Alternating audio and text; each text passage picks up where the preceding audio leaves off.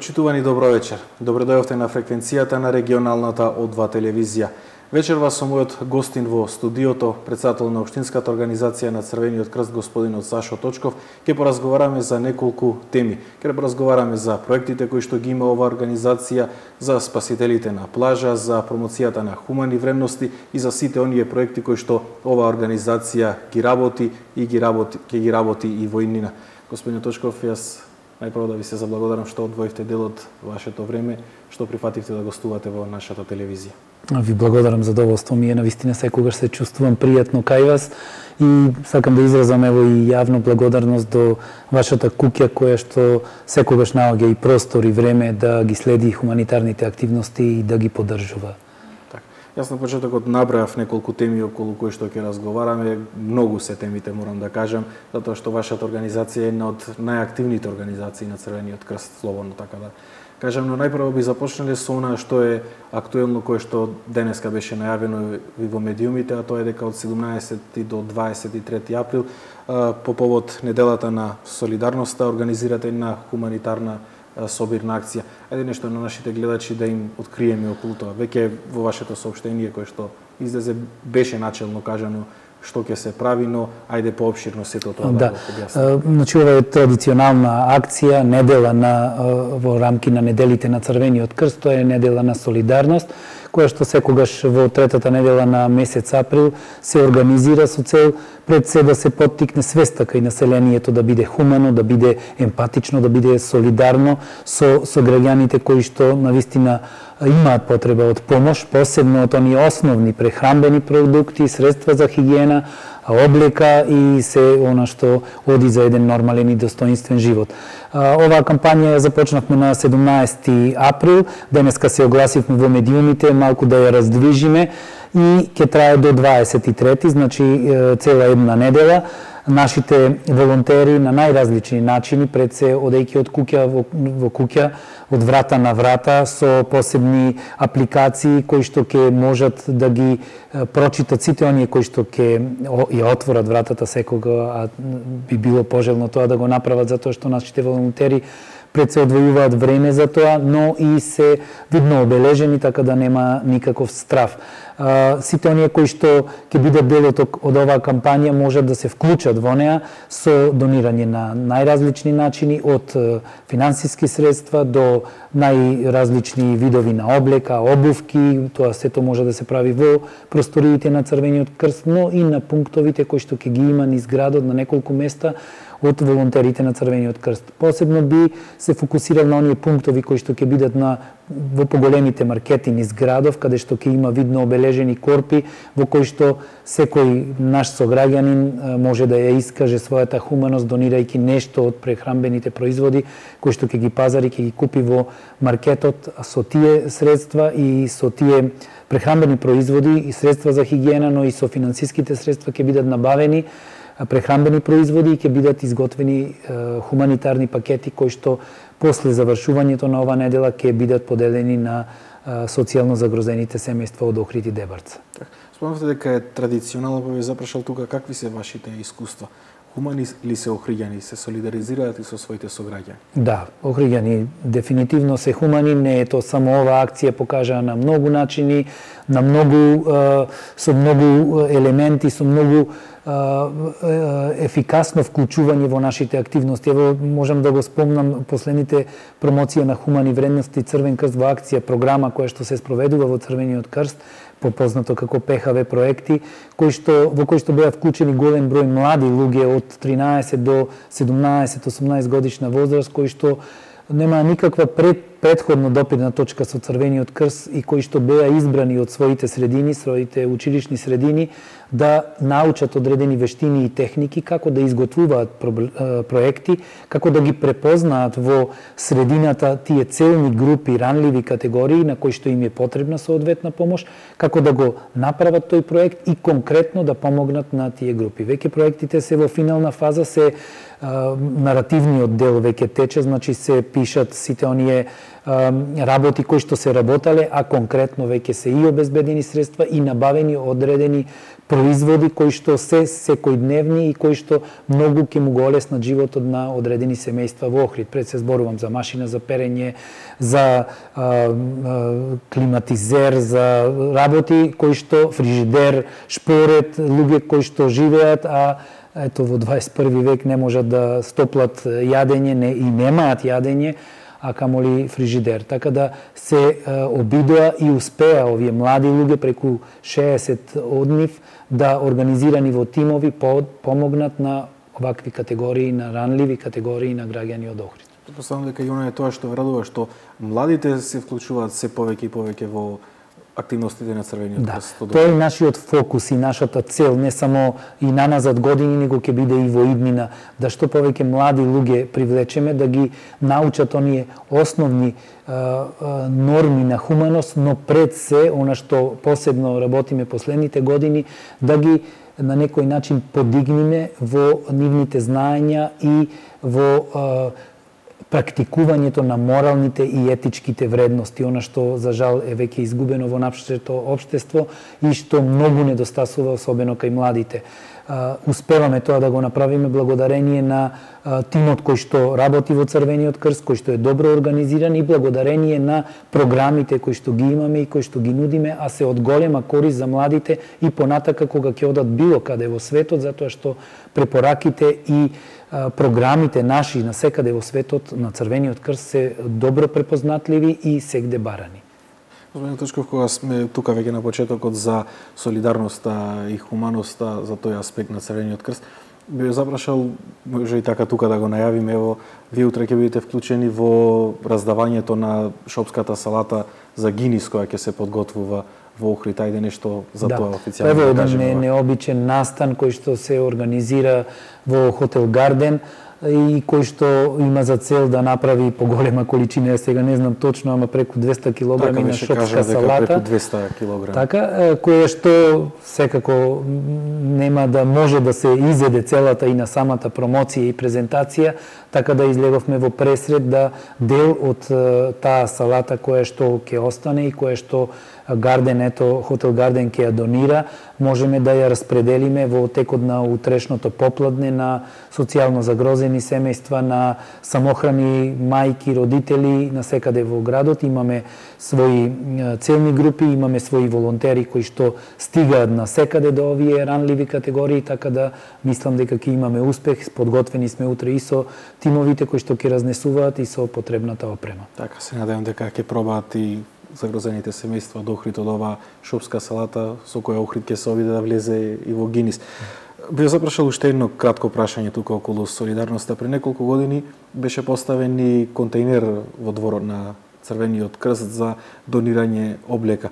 Дали се донира, како тече таа акција, дали има заинтересираност? Да, контейнерот е поставен пред две и пол години во просторот пред Црвениот крст во пред седиштето на Црвениот крст. Значи, вообичаено,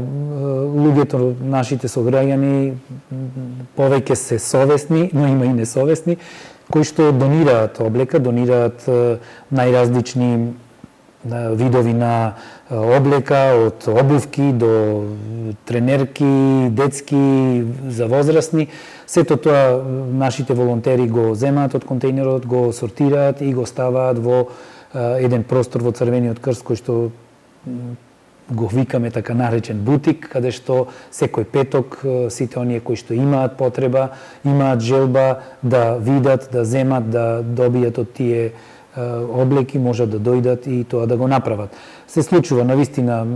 сега не можам да кажам дека многу често, но се случува да имаме најразлични предмети фрлани во контейнерите, луѓе кои што е, облика која што воопшто не е употреблива ја ставаат во контейнерите и би апелирал и би замолил до нашите сограѓани да не ја комплицираат дополнително работата на нашите тимови, доколку имаат нешто што е за во контейнер, за во ѓубре, може тоа да го направат на секаде во градот, а овде да се донира само облика која што е употреблива, која што ќе може да стигне онамо каде што е потребно на нашите сограѓани он од ризичните категории. Зашто дека се би се префрлили на, на, на еден друг дел од вашиот сегмент на работа, нешто за што се подготвувате интензивно, а тоа е општинскиот надпревар по прва помош. Кога ќе се одржи тој и колку тима ќе учествуваат? Да, општинскиот надпревар по прва помош ќе се реализира на 6 мај во Охрид на повеќе локации, на повеќе места во Охрид ќе бидат симулирани најразлични ситуации на одредени несреки кои што се случиле и каде што тимовите кои што се обучуваат од сите основни и средни училишта веќе месец дена ќе можат да укажуваат прва помош на оние манекени кои што ќе бидат поставени исто така од Црвениот крст и кои што ќе бидат наблюдувани од преку 15 суди, инструктори, тренери од Црвениот крст кои што се ќе се грижат за компетентноста на надпреварот и ќе ги оценуваат самите тимови. Оној тим од во две категории ќе биде надпреварот во категоријата младина и категоријата подмладо. Категоријата младина е за екипите од средните училишта, а категоријата подмладок за екипите од основните училишта. Она екипа која што во категорија младина ќе победи, ќе учествува и на државниот надпревар по прва помош кој што се ќе се реализира во месец септември, а младин екипата од подмладокот од основните училишта ќе може да биде придружба, придружба на тој надпревар државен да гледа како се одвиваат тие надпревари и да стекне искуство. Многу важен сегмент ни ова од нашето делување затоа што на вистина со години наназад, но и, и во иднина се обидуваме да што повеќе млади луѓе, што повеќе луѓе, луѓе воопшто научат да укажат правилно прва помош, за да може да помогнат и дали во дома, дали надвор, во, на работно место, сегде каде што се наоѓаат и каде што ќе имаат потреба да помогнат, да укажат правилно прва помош. Со овој надпревар ние опфативме преку 250 ученици кои што ево немале до сега никакви познавања за првата помош, но сега ќе ги стекнат. Секоја година тоа го правиме и бројката е навистина задоволителна од оние млади луѓе кои што на вистина гледаат потреба и желба да ги научат овие техники, вештини, тие ќе се стекнат со одредени уверенија, потврди кои што понатака ќе може да му користат и во животот, да им користат во школувањето, но и да се надоградува, да ги надоградуваат своите знаења на еден од понапредните курсеви во Црвениот крст. Освен оваа бројка која што ја спомнав, и резултатите се на завино ниво до сега, неколку први, втори, трети места да. Да, Црвениот крст Охрид дефинитивно и константно учествува на сите национални надпревари. Не сме биле, нашата екипа била прва пред 15 на години и беше на светскиот, на европскиот надпревар во Швајцарија, каде што го освои, мислам, седмото место, но се фокусираме на количината и квалитетот на укажувањето и на пренесувањето на знаењата. Што повеќе деца да научат, секако дека го негуваме и оној надпреварувачки дух, но не ги притискаме децата дека мора да бидат први или втори, да, фокусот е и на квалитетот и на бројот на деца кои што ќе можат да помогнат и да се само помогнат. Младите господин Тошков, можеме да кажеме се еден од најзначајните делови во вашето работење, токму во таа насока го почнавте од пред три години, ова веќе четврта година е проектот Вдиши театар, еден проект кој што од година во година се повеќе расте, го привлекува интересот на јавноста. Да. Овој фестивал со кој што на вистина се гордееме во Црвениот крст и кој што е прв од ваков вид на овие простори и воопшто со кој што и со која што идеја ги заразивме и околните држави околу нас, што се гледа по учесниците кои што се пријавуваат за учество на овој меѓународен аматерски младински театарски фестивал кој што и оваа година по четврти пат ќе се реализира од 31 мај до 4 јуни во Охрид. На фестивалот ќе учествуваат повеќе театарски групи кои што гравитираат кон Црвениот крст, во кои што групи актери се и глумат аматери секако, но волонтери на Црвениот крст. И сите тие представи кои што тие ги прават и кои што тие ги презентираат овде имаат некоја порака која што е високо хумана, високо морална, високо етичка и која што на вистина треба од секој охриѓанец да се слушне пред се како а, поттик за понатамошното делување и живење, но и да се даде на некој начин и признание за оние кои што работеле на тоа. Нашите веќе гру, нашата група, театарска група во Црвениот крст ја подготвува представата која што ќе биде до, многу интересна оваа година, нема да откријам насловот, така, што така. немам тоа ќе го подоцна. така, но ќе го ставиме за подоцна, но ево најавувам дека на 31 мај во предворието на црквата Света Софија во 20 часот ќе биде отворен овој театарски фестивал и оваа година очекуваме да учествуваат театарските групи од Бар, театар од Црнагора, театарската група од Требиње од Ужице, театарската група театарската од Требиње од Босна, од Ужице од Србија, од Крагуевац од Србија и од Суботица од Србија, а гости ќе бидат и од Дубровник, од Хрватска, каде што мина, наредната година и тие ќе се приклучат со своја театарска група. Так. Да не ги забораваме тука и најмладите, јас би рекол, оние генијалчињата од Охрид, кои што постојано не радуваат и од секој надпревари носат по некоја награда, тоа се брейно брейн генијалците. Нешто околу тоа, како, да. како тие се снаоѓаат веќе за резултатите, да ни кажете, да ни откриете кои што да. ги постигнуваат. Добивте и специјална награда за токму за овој проект. Да, посебно сме е, горди и можеме да се пофалиме со она што 2017 го направи нашиот центар, Црвен крст Брейно Брейн центарот во Охрид, како единствен центар на светско ниво кој што доби посебна награда од мастер франшизерот, од главниот менаџер на оваа програма, кој што се наоѓа во Индија, за посветеност и практикување на Brain Brain програмата. Ние сме прв центар овде на Балканот и доста успешен со голем број на деца и со а, многу успешност во практикувањето на самата програма и а, центар кој што веќе четврта генерација на деца излегуваат од овој центар. Значи го завршиле она 10-то ниво, односно сите 10 нивоа. Она што е значајно покрај бројните награди кои што ги освоивме на петтиот државен надпревар на Brain Брейн програмата во Скопје во март месец, она што е значајно дека се решивме оваа година да направиме еден Brain Брейн фестивал за сите оние кои што не можат да бидат на надпреварот во Скопје, а ќе имаат можност сега единствена да видат што што значи нашата програма и што тие деца се способни и можат да направат. Ова значи ќе една презентација на научените техники и вештини на деца од 4 до 14 годишна возраст. Тоа ќе биде во втората половина на месец мај, на времено ќе ви известиме многу интересен настан, ќе трае сат, сат, час, час и половина и ќе биде можност сите оние охриѓани да видат. Младите родители секако да а, ја за, а, забележат можноста да а, креираат по а, успешна иднина за своите деца, приклучувајќи се на оваа програма, а сите оние кои што биле дел од програмата да се подсетат како нивните деца ги практикувале овие вештини. Така. Господин Тршков, ние се насочивме малце кон младите, но вие не ги заборавивте и она постара генерација поискусните од кои што сите ние треба да ги научиме нивните искуства. Воведовте и таква програма за грижа за старите лица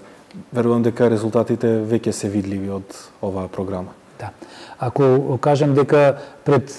минатата година започнавме со програмата Грижа за стари лица во која што најпрвино обучивме волонтери, возрастни волонтери кои што се веќе во пензија, како да комуницираат и како да ги привлечат и како да ги пронајдат а, своите врсници кои што имаат потреба од некоја помош. Ако имавме на почетокот можда 12 до 15 луѓе кои што ги нарекуваме клиенти кои што имаа потреба од најразлична помош, дали комуникација вербална, дали посетување во домовите, дали купување на некои производи, сега имаме преку 100 такви луѓе кои што ги посетуваме. Ово последно беше за великденските празници, каде сите наши возрастни волонтерија ги има 32 сега, изработија најразлични производи, најразлични креации кои што ги подарија, ги подарија на овие луѓе во урбаните средини, во Охрид, луѓе возрастни велам кои што живеат сами, кои што немаат ни деца, немаат ни брачен другар, луѓе кои што навистина им е потребен утешен и добар збор и кои што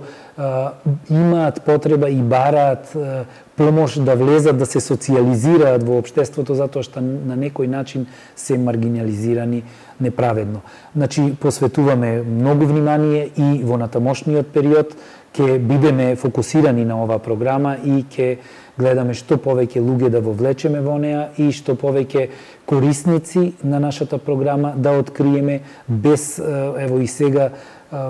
апелирам да оние кои што имаат потреба, имаат некоја мака, имаат некоја желба, а не можат таа да ја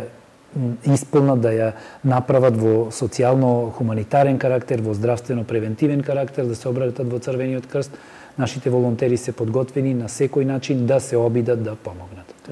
Господин Дочков, во пресред сме на летната туристичка сезона. Охрид, знаеме, од година во година привлекува се повеќе туристи, но би ја запрашал тука оној дел кој што вие го работите, а тоа е со спасителите на плажите. Како е тука состојбата? Знаеме дека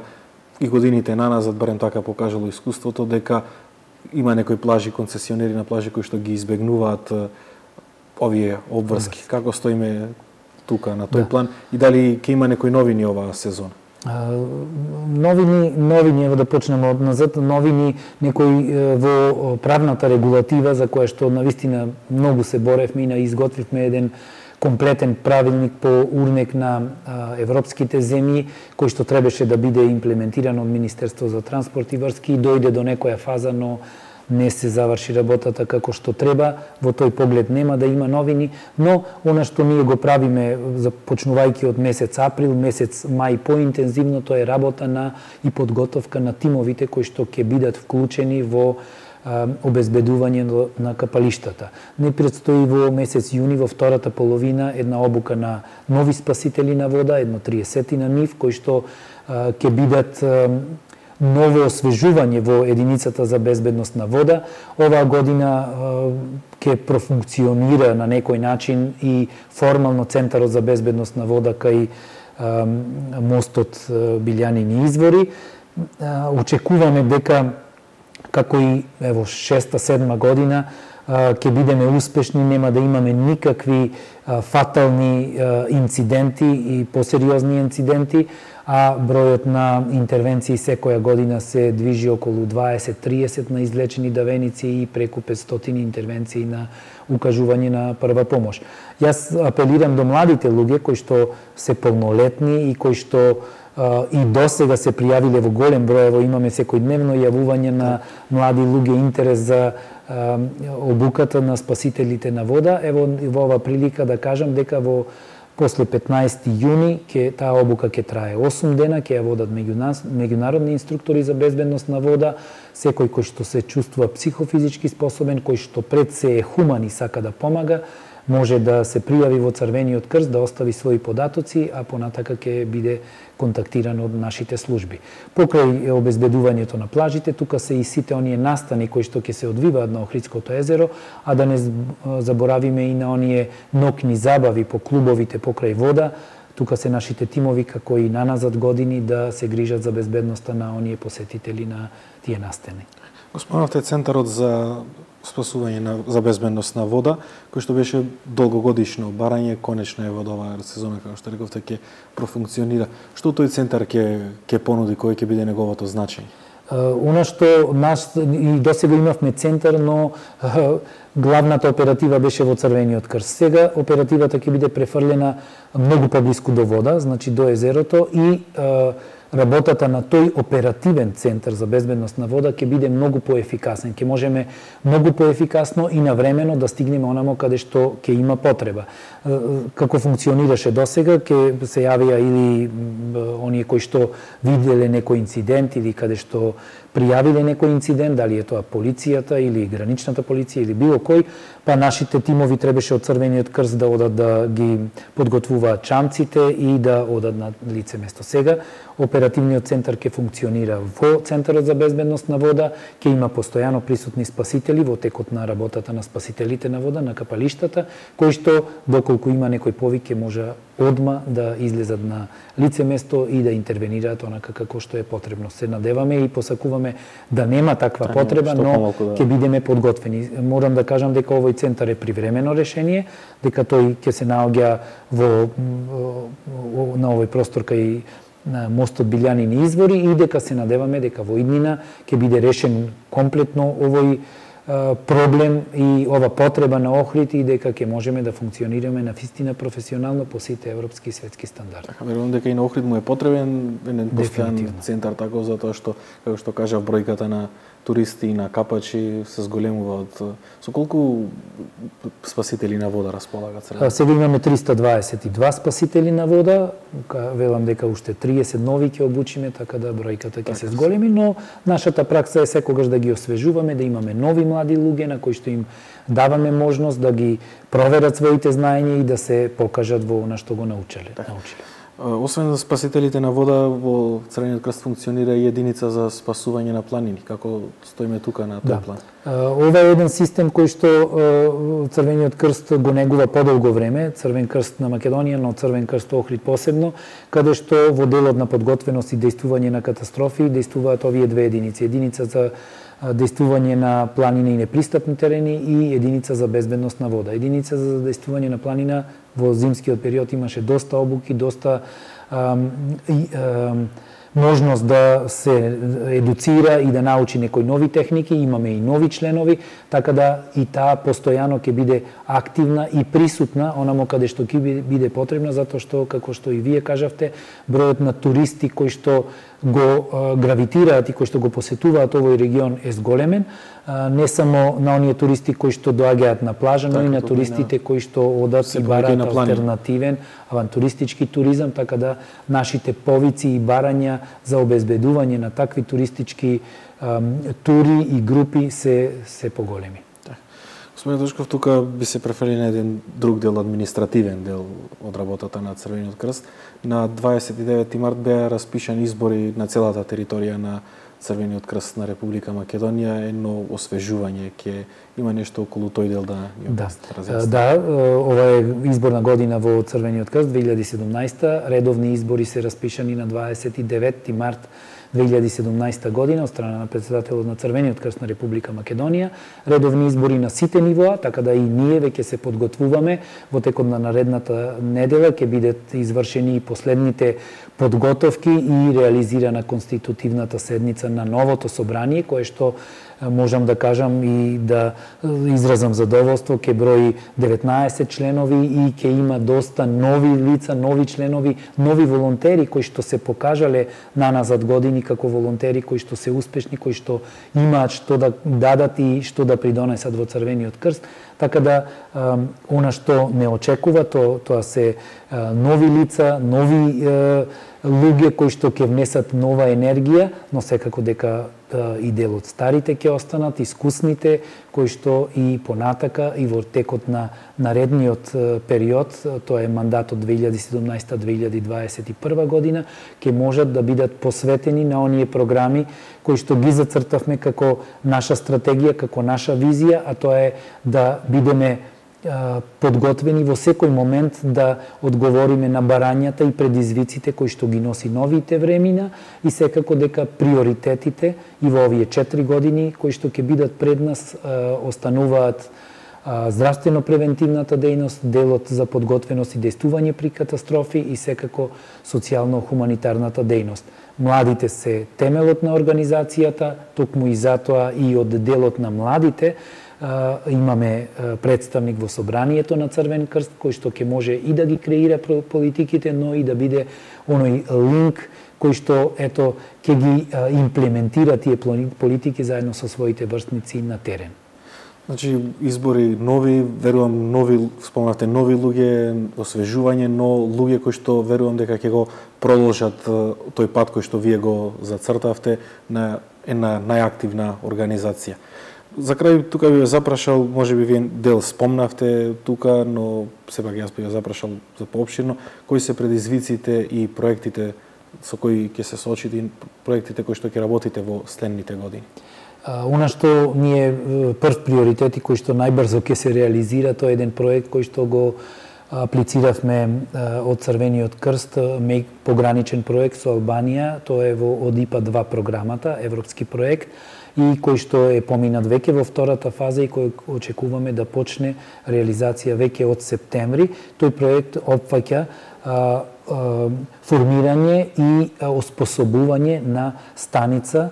односно служба за безбедност на планина, која што ќе биде 24 часа достапна и ќе го покрива теренот на Охрид, на Дебарца, на Струга и на Вевчани. Значи, четири е, територии каде што ќе можат нашите служби да стигнат на време, доколку има потребна од било каква интервенција, дали во планинскиот дел или во непристапните терени. Тоа ќе ни биде главниот фокус и на тоа работиме. Тоа е проект кој што а, носи доста средства, повлекува доста луѓе, доста капацитети од нашата организација кој што со кој што располагаме и се надевам дека успешно ќе го реализираме овој тригодишен проект предизвици кои што ни предстојат, ево прво ќе ги покажам овие кои што се врзани со овој проект, тоа е делот на действување при катастрофи. Елементарни непогоди катастрофи гледаме секојдневно се случуваат и не не одминуваат ни нас. Од поплави до земјотреси и до секакви несреки. Токму затоа и во натамошниот четиригодишен период, ево да кажам во програмата која што ќе би ќе реализира Црвениот крст, во овој изборен мандат ќе биде посветеност на едукација пред се на младите за справување со овие предизвици. Како да се постават младите во училиштата, како да реагира доколку се доколку има земјотрес, доколку има поплава, како да пристапат до доколку има опожарени места, опожарени простори во објектите. Сето тоа е инкорпорирано во оваа програма која што ќе ја имплементираме, ќе продолжиме да ја имплементираме, а секако дека голем предизвик се и здравствената здравствените ризици со кои се се очуваат голем број на ранливи категории на граѓани кои што на некој начин и во денешно време немаат пристап до адекватна здравствена заштита во руралните средини, онамо каде што се случила некоја некои врнежи од снег пообимни, па не може да се стигне до нив. Тука се нашите екипи на и медицински тимови, и тимовите за прва помош, и секако тимовите за спасување, кои што и понатака ќе бидат подготвени да излезат во пресрет на нивните потреби. Во делот на првата помош е многу битно што ќе ги надоградуваме знаењата на парамедиците кои што ги обучивме, 16 парамедици кои што се единствени на оваа територија во Република Македонија, обучени по стандардите на Холандија и кој што е во сега изумив да кажам, но сега ќе го спомнам тоа дека шест од тие парамедици веќе во втората половина на месец јули, јуни ќе бидат гости во Холандија на Националниот здравствен сервис на парамедиците и ќе работат заедно со нив, ќе ја видат нивната оператива, ќе бидат буквално во амбуланските возила и ќе одат на а, случаи, несреки кои што се случуваат тамо собраќајни незгоди или било како, како тој систем функционира, да го акцептираат, да го видат за да можат и да ги подобрат своите знаења, но и да бидат од корист за нашата организација овде да примениме некои од тие знаења и вештини. Така, значи продолжува и онаа соработка која што ја остварите предходните години и со Холандија и со Флориан од Манчестер. Од да, од Англија и со Бамберг од Германија и со Зеволде од Шведска. Многу интензивна соработка, дури од имаме неколку забелешки од Црвениот крст на Република Македонија кои што вела дека премногу премногу шириме соработка со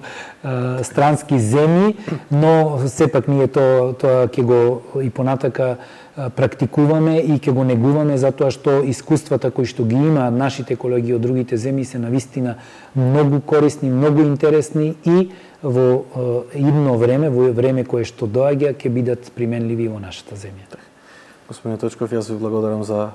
одвоеното време, за вашето гостување. Верувам дека на нашите гледачи им откривме повеќе детали за активностите на Црвениот крст за оние кои што ги работите, но и за оние следни планови и програми кои што ве очекуваат. Ви благодарам и вам, ви благодарам на посветеноста, како што кажав на почетокот, но благодарам и на Охриѓани, на нивната хуманост, на препознавањето на нашата организација како водечка хуманитарна организација, како, каде, како место каде што можат да дојдат да го а, не потрошат, туку вложат своето слободно време на многу корисен, креативен начин и да бидат препознаени од оние целни групи, од оние корисници и на вистина да го имаат најголемото задоволство да го доживеат, она што ние секојдневно го доживуваме, тоа е насмевката од другата страна, едно благодарам и задоволството дека некому сте помогнале. Да се благодарам уште еднаш. А вам почитувани ви благодарам што не следевте во овие 40 на минути и ве поканувам и понатака да останете на фреквенцијата на О2 телевизија.